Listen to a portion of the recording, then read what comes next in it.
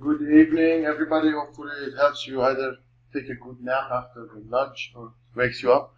And this is a paper that was accepted in, Design and Text, te uh, Test magazine. I'm just presenting it for ISCAS per request of one of my co-authors that is here right now. Uh, it is a work that uh, was the foundation of the uh, project that we have in Stanford called PRISM. Those colors represent different applications and the triangle is computer architecture. So it is a reverse prism. Anyways, we try to come up with architectures that can represent certain applications.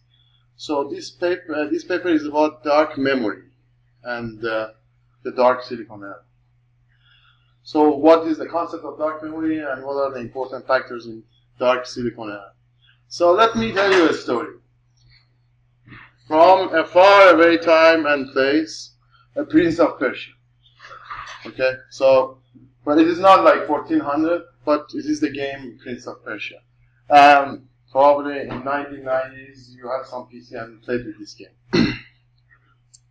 so in 1990s uh, you were the prince and you had to go fight the skeletons to find the princess happy ending. But since 1990s, what happened really to this game? Look at the resolution, look at the 3D depth of the game, and uh, basically now you can see the front closer six pack of the prince, and also the skeleton has a halo on his head, and it is 3D game. Well, you have a life bar, and uh, of course the resolution has increased significantly. So I have a question for you. What is the x-axis in this picture? Is it time? Is it the heterogeneity of the chips? Is it the compute power? Is it the screen resolution or a bunch of them, or like wireless bandwidth or whatever? Of course, you can see that the screen resolution has increased, the functionality has increased, and basically the, the cell phones that you have are becoming more and more powerful. Well, you might say these are different cell phones from different companies, and it's not fair comparison. So I want to compare apples to apples for you. So let's compare apples to apples. There are, one of them is the Apple iMac, the other one is Apple iPhone. But if you look at their specs, uh, except for the height and width uh, and the weight, basically, the, the frequency was 500 megahertz. Here is 1 gigahertz. Uh, the, the smaller device is faster. The RAM is four, four times more, and the display resolution is around the same.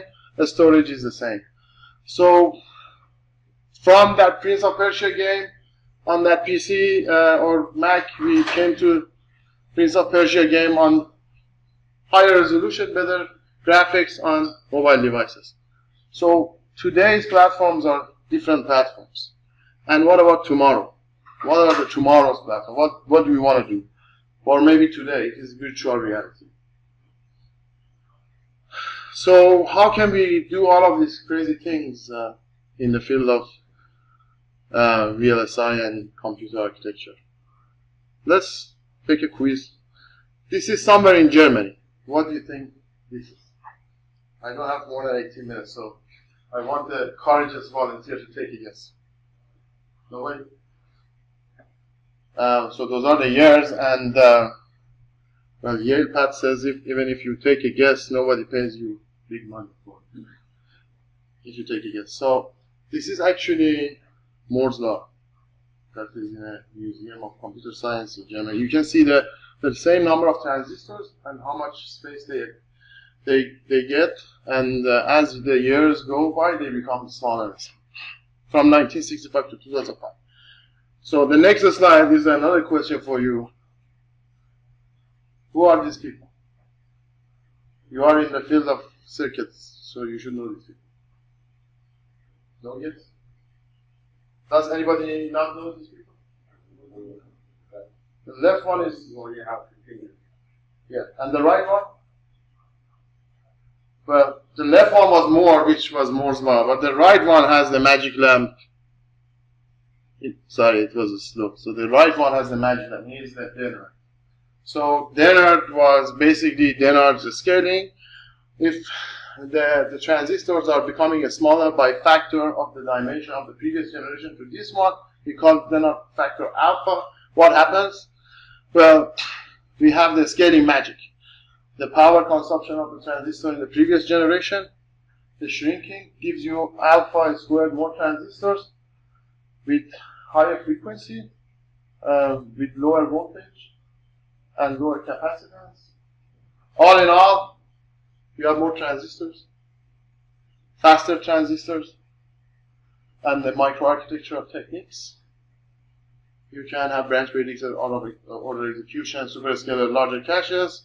You can actually get higher performance while you are using the same power. So if you bring this table, you can see that somebody has moved your cheese when you go to the smaller technologies. Uh, the voltage doesn't scale anymore, the current doesn't scale anymore, and power dissipation doesn't scale and doesn't become half as before. So the previous case, uh, where is the, the, so the previous case which was this and everything was good, with more transistor, faster transistors, now you have a problem. You are consuming more power. This guy is Michael Taylor. He coined the phrase dark. And then he came with a, with a paper called the, the Four Horsemen of Dark Silicon. I see these four horsemen look like that. So let me tell you what are the four horsemen of dark silicon. One of them is the shrink horseman, which says just in the newer technology, let's shrink the chip. So we don't use that alpha as square factor. We are good. With the same smaller chip, we can deliver. But the problem is that if we shrink, we are not increasing the performance. So limited performance and it doesn't have any return for the newer technology. The second horseman is dim, which means that instead of uh, basically uh, keeping uh, keeping the frequency faster, don't increase the frequency and lower the voltage as much as you can and basically dim the silicon. So this is seen as this. If you were at 22 nanometers and uh, at 2 gigahertz and you had 16 cores, in the next generation you have 2 million transistors. Because of the power budget, you can only have uh, half of your cores at 2.8 gigahertz, which is increased frequency. And but with the DIM, you can have all of your cores at half of the frequency, dimly turned on. And then if you go to the future technologies, the frequency cannot go up. Dim. Or you have to have some of your silicon dark. So the, the dark region is called dark silicon. So dimming means basically having multiple cores. That is the rise of multiple. And you can see this is a famous chart by uh, Stanford people again. Uh, uh as around 2005, the, the single thread performance didn't increase much. The frequency kept this, uh, the same frequency. Transistors are still kept up going with the Moore's law, but the number of cores increased and the power is capped. That is the multiple error. The third horseman is the Deus Ex Machina, which is going beyond CMOS. Um, but the problem is that manufacturing is still for beyond CMOS is long time, and uh, already we have changed the, our transistors from 80s to 2018. We have come with a lot of new technologies, 3D FinFET, new channel materials, but still it is long time to manufacturing. The fourth one, which is the target of this talk is the specialization for the dark silicon basically, uh, which you design efficient accelerators that are orders of magnitude more efficient, so you can deliver performance within the power cap. Nine minutes, right? So heterogeneous computing is really hot these days. Uh, all of your mobile phones have uh, DSP chips, uh, video processing chips, uh, GPS uh, processing, and uh, these specialized cores give you very efficient gigaflops per watt of power consumed. And basically what we are aiming for is area and power efficiency. Well, this is the story that you hear most of the time. People come up with the chips, and this is my own research actually I'm presenting. Um, uh, that you can say with a, for example, linear algebra processor, you can get orders of magnitude better in terms of core or chip performance if you compare it with even GPUs. If you dedicate, uh, design dedicated uh, logic for special computation, you can have orders of magnitude better efficiency. But is this story the whole story? So This is a basically positive image. You're responsible for the energy you bring. In this paper, in the equation. So what are the energy factors that you want to compare for the dark silicon? Well, don't forget the memory system energy.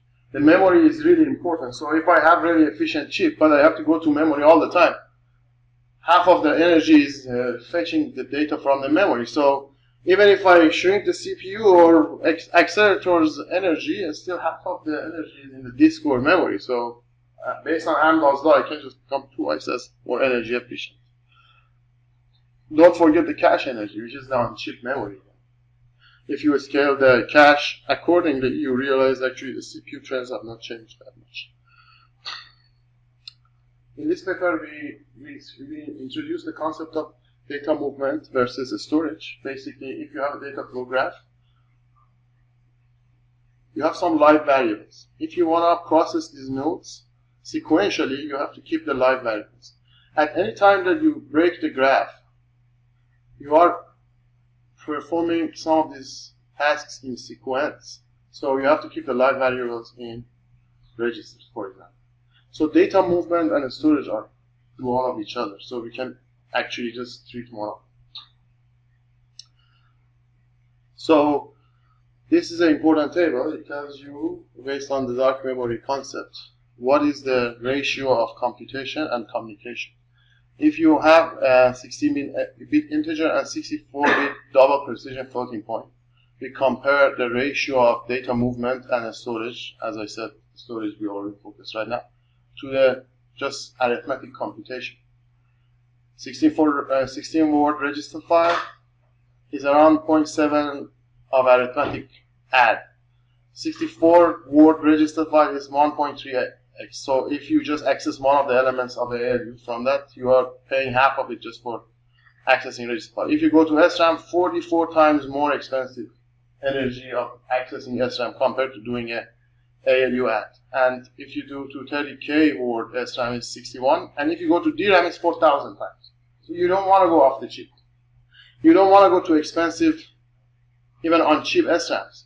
And even for floating point, the, the or three orders of magnitude still holds. Based on that, the same chart shows if you do ALUs, um, operations like multiplication, and then fetch one of your uh, values from one of these memories, what happens? Essentially, you lose factor of 10 in energy efficiency. So locality is really important, of course, to say we knew it. But how important it is is shown here, basically. For for example, double double uh, double precision floating point unit being on chip and going to DRAM is like around 10 times different. So the dark silicon view that everybody talked about was having efficient accelerators on the chip. So what is the, mo the most efficient thing? Is ALU its energy efficiency is really high. So you want a chip that has a lot of compute units. You want to increase chip's energy efficiency and area efficiency. And uh, in all of these papers you read, you report 10 to 1,000 times better improvements. But the real view is, the real perspective is that you have to bring this data from somewhere, from off-chip DRAM. So you have to pay a lot of high bandwidth DRAM if you just have execution units on the chip. If you don't have enough padding or communication and um, local storage. So your system is inefficient, although your chip is extremely efficient. Your accelerator is really efficient. You can report, I have 10,000 times the normal CPU core, but can you bring the data? Can you feed the beast? So the dark memory view says you need some padding. Although your chip buffers make your on-chip report worse because they are just buffers and they don't do any computation. But your on-chip bandwidth drops and your off-chip bandwidth, which is really expensive, uh, access energy drops and your system becomes efficient. So on-chip interconnect. So like something like GPU, you can just add more and more ALUs on it, but then you cannot fit the piece. You can report peak performance of this much teraflops and this much energy efficiency, but you cannot really fit the beast. So that is the dark memory view. And some messages that we want you to remember and don't forget is keep DRAM and memory hierarchy dark. This is not only to keep the silicon down, keep the memory hierarchy dark. And first, focus on memory hierarchy. For that, you need the right tool, and this is not the right tool. Of course, it is X that is reversed. So you want a, a good algorithms to minimize DRAM accesses, and you want to have high chip. So let's take a look at this chart. Uh, it is really important. It is basically the complexity and versus the theoretical complexity versus uh, floating point or operations per memory. Like linear algebra, tree nested loops uh, is basically n, n cubed operations, but if you block it, you can essentially increase the floating point operations per memory access. And uh, you can even change the nature of algorithm from uh, matrix vector multiplication to FFT, like DFT to FFT decreases the theoretical complexity, but uh, in terms of memory op operations, is worse. And then CNNs, you can also block them to, to take them to a higher part of the chart, which is green zone, which is more operations per memory. And this is the rest of the essentially space that we looked at. And what is what are the most important metrics that you remember? You want um, um, uh, to optimize for chip area and chip power. Increasing the performance means that you are uh, going to higher Pareto design. We, we introduce energy per op and area per op, enough uh, metrics to, uh, for optimization. So you just need to optimize for a millimeter squared per gigaflops and watt per gigaflops. Your design space becomes an optimization, dimming your design basically goes through this chart. And then always be careful for the operation. Define invariant operation across different platforms. For example, DFT and FFT are both doing Fourier transform. So you have to compare Fourier transform transforms with each other, not gigaflops. Convolutional neural networks are different in architecture. You have to compare the inference rate. And then dense and sparse solvers, they have different number of computation. You want to com compare their solves. So basically, we move between this design on this Pareto curve, left and right, increase the area, decrease the, the energy consumption, and then we want to optimize for design. Uh, I want to give you an example. I promise that is the last two slides. So if you block the computation for matrix multiplication, you are decreasing the number of accesses for elements of A. If this is your, uh, and your top level memory is always accessing n cubed operations. You see n cubed, n cubed, no matter how much blocking you do. Blocking helps you decrease the number of accesses to lower level of memory hierarchy. If we have that, uh, two Pareto curves for first level of memory hierarchy and floating point multiply accumulate. With different areas, we get different energy efficiency. We combine them. We have to know that energy of consumption boosts significantly as size grows. Basically, when you increase the size of the top level of memory hierarchy, it, it uses a lot of energy and it has n operations. So memory size doesn't compensate for the access savings, which means that having higher or bigger memory on the top level is not going to help you because you are going to access it n cube times. As you saw in the previous slide, it goes up again. This is the memory. It goes up because the memory became big and you access it a lot. And then if you do further blocking, you can actually decrease that. So your Pareto curve is decreasing by adding more levels of memory hierarchy. So this is basically a true Pareto curve for matrix multiplication. And then if you combine the floating point MAC unit with the memory Pareto curve, you get the Pareto curve of the whole design for matrix multiplication, which is based on area, meter square, and power factor. So these are the contributors. One of them is here, Shahar, and then uh, the rest are from Stanford people. And this is the joke. Thank you.